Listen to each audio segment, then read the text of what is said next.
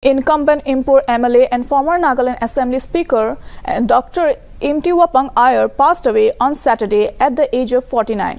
As per reports, Dr. Imtiwapang Aier passed away at a prayer center in Dimapur. Dr. Aier is survived by his wife, four daughters, and one son. According to his family members, his mortal remains will be brought to Kohima and state funeral will be held on Sunday in Kohima.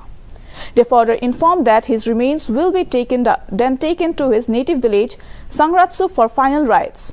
Looking back at his political career, Aier first got elected to State Assembly in 2013 on a Congress ticket. Later, he joined Naga People's Front and was given the charge of Parliamentary Secretary for Geology and Mining. Aier's most decorated achievement came in 2016 when he was chosen as the Speaker in the 12th Nagaland Legislative Assembly.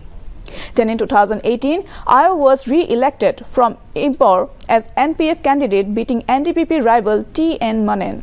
Significantly, Dr. Aier was one of the 20 NPF MLAs led by former Chief Minister T.R. Zeliang, who merged with the Nationalist Democratic Progressive Party, party in 2022.